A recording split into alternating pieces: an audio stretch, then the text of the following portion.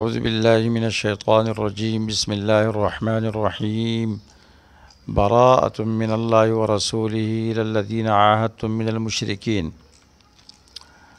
सूरह तौबा की इब्तदा और इंतहा के दरमियान जोड़ और इसके मौज़ूआत और इस सूरत के फ़ायद लताइफ़ का बयान और इसमें जो अहम मसाइल है उस पर बेस की जाएगी। सूरतुल बरात, सूरत तोबा, इसके इब्तदा मुशरकिन से ऐलान बरात और उनके साथ क़िताल करने के हुक्म से हुई है। लेकिन वो मुशरकिन जिन्होंने एराज़ किया और क़िताल की भी मुस्तक ठहरे आयत नंबर एक बरातमिनल्ला व रसूल ही और आयत नंबर पाँच, फ़ैज़न सलखल अशरम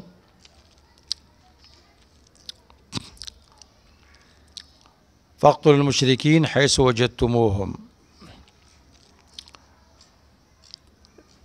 अख्ताम भी मुशरकिन से एराज़ के हुक्म से हुआ है। एराज़ करो मुशरकिन से। लेकिन वो मुशरकिन की जिन एराज़ तो किया, लेकिन क़िताल के मुस्तक नहीं ठहरे तो उनके ख़िलाफ़ अल्लाह से मदद तलब की जाएगी। और आखिरी आयत में इसकी तरफ़ इशारा है। फ़ैन तवल्ल फ़कुल हसबी अल्लाह। ला अलैहि तवक्कल तो वह रब्बुल अरशिल अज़ीम यह इस्लाम के अदल इंसाफ का बयान है। मुशरकिन के साथ मामलात में ये इस्लाम का अदल इंसाफ है।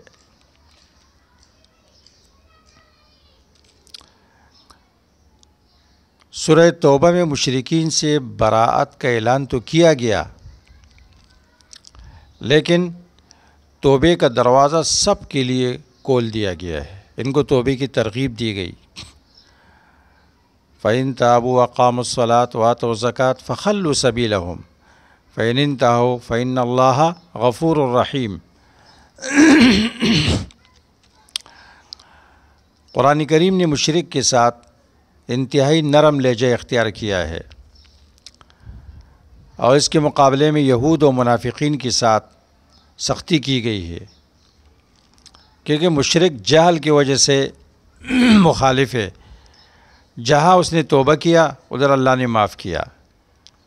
जबकि यहूद नसवारा इल्म और इनात के साथ मुखालफत करते हैं और मुनाफिकीन तो आस्तीन के साम पे मुशरक के साथ सूरत तोबा में और पूरी कुरान में बड़ा नरम लहजा इस्तेमाल किया गया है। सूरत के जो मौजूद है, नंबर एक, मुसलमानों और मशरकिन का ताल्लुक़ और इस ताल्लुक़ को बड़े खुशगवार पैराए में बयान किया गया है। कैसे ताल्लुक़ होना चाहिए? आयत नंबर एक में इस बात की तालीम दी गई कि मुशरकिन से बरात का ऐलान करो, दिली एतबार से, कलबी एतबार से। मुशरकिन और जो वो शिरक का अकीदा रखते हैं, उससे मुकम्मल तौर पर कल्बी एतबार से बारात का ऐलान करो। आयत नंबर एक। आयत नंबर सात और चार में इस बात की तालीम दी गई कि मुसलमानों और मशरकिन के दरमियान जो मुआहदे हुए हैं, उनको पूरा करो। आयत नंबर छः में मशरकिन को हक़ की दावत दी गई है और इसके लिए मौके तलाश किए गए हैं और जो मौके हैं, जब भी मौका मिला, इनको दावत दी गई है। आयत नंबर 12 आयत नंबर 14 में उन मुशरकिन के साथ क़ताल का हुक्म दिया गया है, जो मुआनदीन है, जिनके अंदर इनाद है ख़ुद भी मुसलमान नहीं होते हैं और दूसरे लोगों को भी अल्लाह के रास्ते से रोकते हैं। आयत नंबर छः में इस बात का बयान है कि मुशरकिन में से जो मुशरक अमन तलब करना चाहता है और दारुल इस्लाम में आना चाहता है और कुरान सुनना चाहता है तो उसको अमन दे दो। वही न हदमिनमशरकिन तजारा का फ़ाजिर हो हतमा कलाम अल्लाह। और इस ये बात भी वाज हो गई कि मसमू कलामुल्लाह होता है। इंसान जिसको सुनता है, वो अल्लाह का कलाम होता है। फ़लसफ़ियों की ये बात गलत है कि जो आप सुनते हैं, ये कलामुल्लाह नहीं है।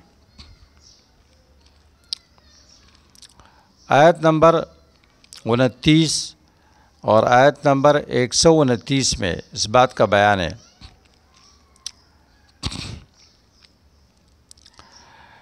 कि जो मुशरक सलमानों के सामने ताबे हो जाता है, हथियार डाल लेता है, अगरचे ईमान नहीं लाता है, उनके साथ क़िताल नहीं करो, उनसे रुक जाओ। आयत नंबर अड़तीस और उनतालीस में जिहाद फ़ी सबील्ला की अहमियत बयान की गई है और उसमें तसाकुल और सुस्ती करने से डराया गया है।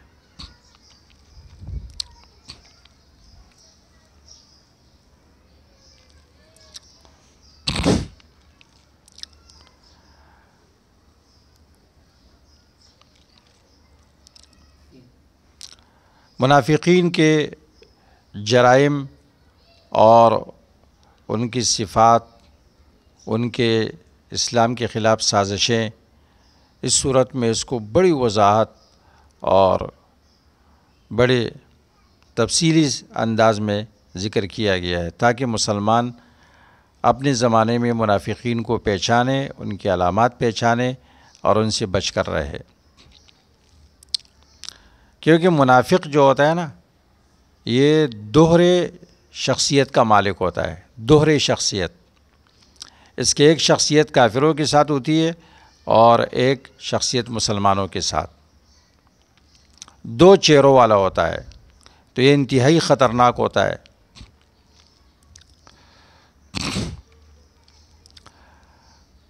आयत नंबर साठ में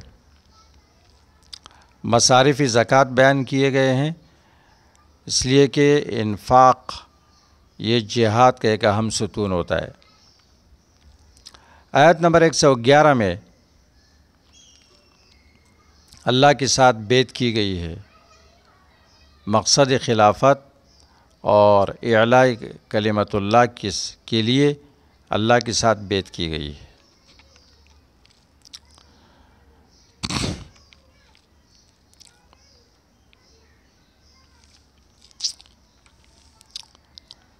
सूरत तौबा, ये कुरानी तरतीब में सूरत अनफ़ाल के बाद रखी गई है।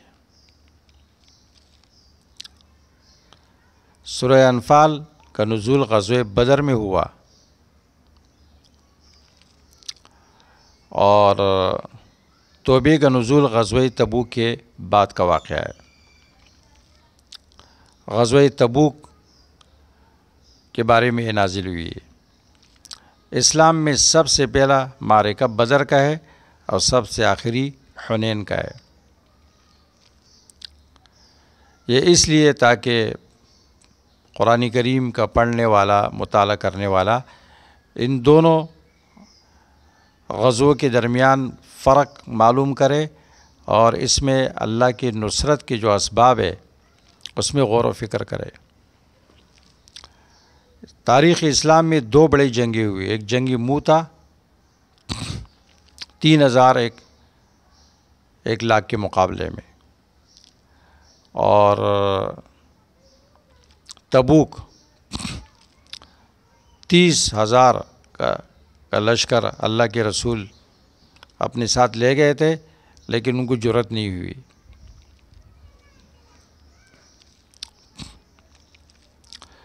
सूरह तौबा, इसके बावजूद कि ये कुफ़ार और मुनाफिकीन के वईदों से, उनको धमकियाँ देने से बरी है।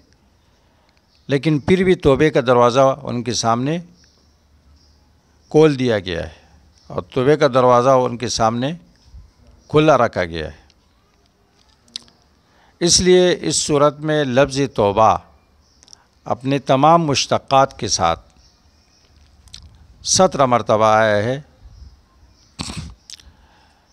इस एतबार से ये सूरत इम्तियाजी हैसियत रखती है कि इसमें तोबे का लफ्ज़ बहुत ज़्यादा इस्तेमाल हुआ है और ये अल्लाह तबारक ताली की अपने बंदों के साथ रहम और वसी रहमत पर दलालत करता है। चुनाच सूरत में तोबे का दरवाज़ा अपने आयतों के बीच बीच में तोबे का दरवाज़ा सब के लिए खोल के रखा है। आयत नंबर पाँच, दस, ग्यारह, पंद्रह। इसमें मुशरकिन, मुहारबिन के लिए तोबे का दरवाज़ा खोल दिया गया है। को दावत दी गई है। आयत नंबर चौबीस और सताईस में वो मोमिन जिन्होंने मदद करना छोड़ दिया था और पीछे रह गए थे। उनके लिए तोबे का दरवाज़ा खोल दिया गया है। आयत नंबर सताईस में, अल्लाह पर तवक्ल न करने से, न करने की वजह से जिस गुनाह का इरतकब हुआ, उससे तोबा करने के लिए तोबे का दरवाज़ा खोल दिया गया है। आयत नंबर चौहत्तर में मुनाफिकीन और मुर्तदीन के लिए तोबे का दरवाज़ा खोल दिया गया है। उनको तोबे की दावत दी गई है।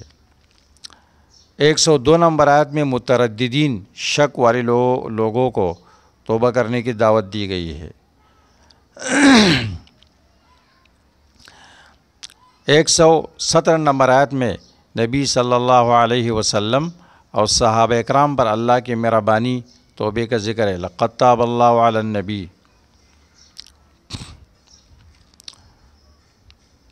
वल्लदीन तबाऊ फ़ी सातलसरा एक सौ अठारह में कस्बे से पीछे रहने वालों को तोबे की दावत दी गई है, उनके तोबे का बयान है। सुर तोबा वो आखिरी सूरत है, जो नबी सल्लल्लाहु अलैहि वसल्लम पर मुकम्मल नाजिल हुई हजतलवदा के मौके पर। और तोबा ऐसी चीज़ है कि जो मुसलमान से किसी वक्त भी जुदा नहीं होता है, अल्लाह की तरफ़ पहुँचने में। मुसलमान हर वक़्त तोबे का मोहताज है। अपने रास्ते के इब्तदा में भी और दरमियान में भी और आखिर में भी। इसलिए कि अल्लाह तबारक व ताली वो अतवाबुर्रहीम है। गोया इसमें मुसलमान को दावत दी जाती है कि जब भी आपसे गुनाह हो जाए, आप तोबा करें। बाज़ लोग गुनाह करने के बाद मायूस हो जाते हैं। तो तोबा वज़ू की तरह है। जैसे आपका वज़ू टूट जाए तो आप दोबारा वज़ू करते हैं। इस तरह आपका तोबा टूट जाए तो आप दोबारा तोबा करें।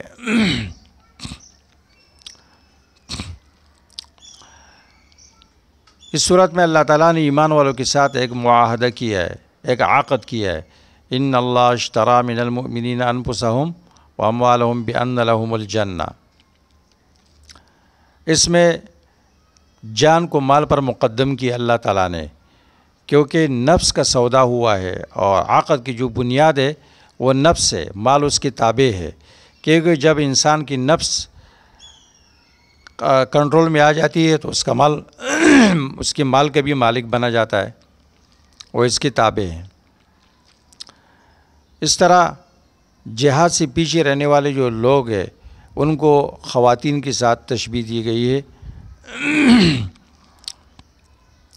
फ़क़ुदू माल खालिफिन। रजू यकून माल खवालिफ। इस तरह इस सूरत की, इस आयत से ये बात मालूम होती है। इन नम रज़ी तो इन नकुम रज़ी तुम बिलक़ूद अव्वल मर्रतिन फ़क़दू माल खालिफीन।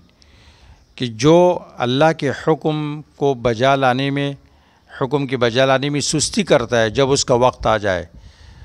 तो उसको अल्लाह की तरफ़ से ये सज़ा मिलती है कि इसके बाद उसको अल्लाह की मर्ज़ी वाले काम की तोफ़ी नहीं मिलती। इसलिए जिस फ़र्ज़ की अदायगी का जब वक्त आ जाए, इंसान को फ़ौर वो करना चाहिए। जब वो नहीं करेगा तो अल्लाह की तरफ़ से तोफ़ी चिन जाती है। मुनाफिकीन पहले मरतबा बैठ गए तो फिर उनको तोफ़ी नहीं मिली। अब एक सवाल। सुर तोबा की इब्तदा में बिस्मिल्लाह क्यों नहीं लिखी गई? जवाब वाज है सल्लल्लाहु अलैहि वसल्लम ने नहीं लिखवाई। जब उन्होंने नहीं लिखवाई तो साहब कराम ने नहीं लिखी। ये इस बात की दलील है कि साहब कराम ने अपनी तरफ़ से कुरान करीम में कोई चीज़ दाखिल नहीं की। रसूलुल्लाह ने जिस तरह लिखवाया था उसी तरह। इसका एक जवाब हदीस में मौजूद है। इबन अब्बास रज़ी अल्लाह तुमा ने उस्मान इबन आफ़ान से सवाल किया और फरमाया कि आप लोगों ने इसमें बिस्मिल्लाह क्यों नहीं लिखी? तो उस्मान रज़ी अल्लाह तु ने जवाब दिया, फरमाया, अल्लाह के रसूल सल्लल्लाहु अलैहि वसल्लम की आदत ये थी कि जब आप पर कुरान का कोई हिस्सा नाजिल होता तो आप बाज़ उन लोगों को बुलाते जो वही लिखने के लिए मुकर होते थे। और आप फरमाते थे ज़ू हाद ही फ़िसूरत लती फ़ीहा कज़ा व कज़ा। ये आयत वहाँ रखो उस सूरत में जिसमें इस इस चीज़ का बयान है। तो सूरत अनफ़ाल मिन अव्वल मा नज़ल बिलमदीना मदीने में अव्वल नाजिल होने वाली सूरत है। और सूरत बारात, ये कुरान की सबसे आखिरी सूरत है। और दोनों का क़स्सा, दोनों का मजमून मिलता जुलता था। रसूलुल्लाह सल्लल्लाहु अलैहि वसल्लम का इंतकाल हो गया। आपने इस बारे में हमारे लिए कुछ बयान भी नहीं किया। तो मैंने ये गुमान किया कि ये भी सूरत अनफाल का ईसा है। तो इस वजह से मैंने दोनों के, दोनों को मिलाया और दोनों के दरमियान बिस्मिल्लाह की सतर नहीं लिखी। रवाह तिरमिज़ी व नसाई वल हाकिम। इस तरह इस सूरत में पचहत्तर नंबर आयत में आम मुफसरीन एक वाक़ ज़िक्र करते हैं। वमिन मन आहदल्ला मिन फ़जली ही अल्लाह ताला ने मुनाफिकीन की खसलत ये बयान की कि उन्होंने ये वादा किया कि हमारे पास माल नहीं है, अगर माल आएगा तो हम सदक़ा करेंगे, बखल नहीं करेंगे। लेकिन जब माल आया तो बखल किया। यहाँ बाज़ मुफसरीन ने सालब नबी हातिब रज़ी अल्लाह तु का वाक़ नकल किया है कि अंसारी साहबी और बदरी है। कहते हैं, इन्होंने अल्लाह के रसूल से कहा, मेरे लिए माल की दुआ करो, अल्लाह के रसूल ने मना किया, लेकिन इसने कहा कि मैं हर हकदार का हक़ अदा करूँगा। आपने फरमाया, अल्लाह ताला, या अल्लाह इसका माल बढ़ा दे। इसकी बकरियाँ बढ़ गई। पाँच नमाज़ों के बजाय फिर सिर्फ़ जहर और असर की नमाज़ रसूलुल्लाह के पीछे पढ़ता था। फिर वादी तंग हो गई और आगे गया जंगल की तरफ़। फिर सिर्फ़ जुमे में आता था, फिर जुमा भी छूट गया, फिर ज़क़़त की आयत नाजिल हो गई। रसूलुल्लाह ने ज़क़़त की वसूली के लिए अपना आमिल भेजा, इसने ज़क़़त का भी इनकार किया। बाद में भेजा, रसूलुल्लाह ने ज़क़़त कबूल नहीं की, फिर अबू बकर ने भी नहीं की, फिर उमर ने भी नहीं की, उस्मान ने भी नहीं की। उस्मान रज़ी अल्लाह के ज़माने में कहते हैं, मुनाफिक मरा। इस वाक़ को, इस हदीस को बहुत सारे ने ज़ीब करार दिया। इतनी वजूहत के साथ कि जो उसकी सनत के साथ वो ताल्लुक़ रखती है। इसलिए कि हातिब इबन अबी बलता रज़ी अल्लाह तहो बदरी सहाबी है। बदरी सहाबी कभी मुनाफिक नहीं हो सकता है। कुरान करीम में उसका नाम भी नहीं है। बल्कि आयतों में तो मुनाफिकीन का तस्करा हो रहा है। मुनाफिकीन की एक किस्म बयान की जाती है कि उन्होंने अल्लाह से मुआदा किया। कि माल आएगा, हम खर्च खर्च करेंगे, लेकिन फिर उसके ख़िलाफ़ वर्जी की।